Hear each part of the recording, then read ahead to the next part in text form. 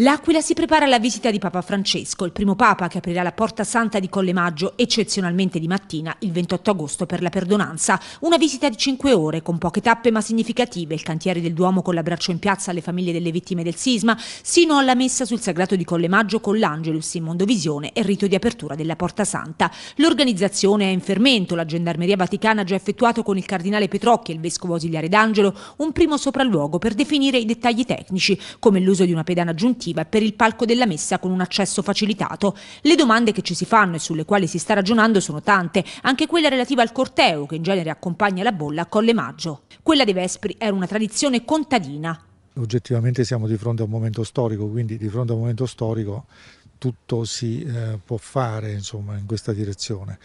Non è una mutazione diciamo, sostanziale quella dell'apertura della Porta Santa al mattino, almeno nel merito voglio dire del, del percorso della, della, perdonanza, perché in ogni caso noi abbiamo un, diciamo, un inquadramento all'interno delle 24 ore che sono previste per quanto riguarda il cosiddetto giubileo aquilano.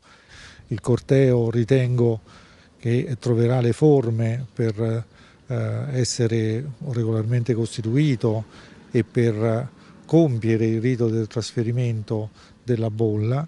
Adesso capiremo se questo dovrà essere anticipato, dovrà essere leggermente organizzato in maniera leggermente diversa.